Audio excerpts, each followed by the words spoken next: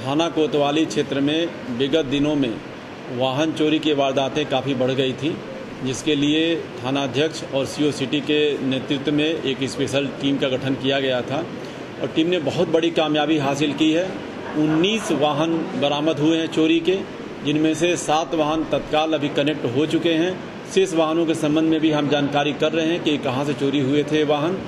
ये सारे वाहन जो अभी कनेक्ट हुए हैं, सब फतेहपुर जनपद से विभिन्न थानों से चोरी के वाहन कनेक्ट हुए हैं। तो एक बहुत बड़ी सफलता है और इसमें जो अभियुक्त पकड़े गए हैं, पाँच अभियुक्त हैं, जिनमें एक अभियुक्त हुसैनगंज थाने का है, एक अभियुक्त हथगांव का है, दो अभियुक्त कोशाम्बी जनपद के हैं और एक अभियुक्त चित्रकूट जनपद का है। इस तरह से ये इंटर रेंज गैंग है। ये बहुत ही बड़ा गैंग है जो कि विभिन्न जनपदों में जा जा करके आसपास और ये चोरी कर रहा है वाहनों की। निश्चित रूप से पूरी उम्मीद है कि इससे हम लोग और भी ज़्यादा वाहनों को बरामद करेंगे। अभी इनसे डिटेल पूछताछ की जाएगी रिमांड पर लेकर के और बहुत बड़ा ये इस गैंग रजिस्ट्रेशन भी कराया जाएगा और बहुत बड़ा वर्कआउट भी हम लोग आगे भी करेंगे।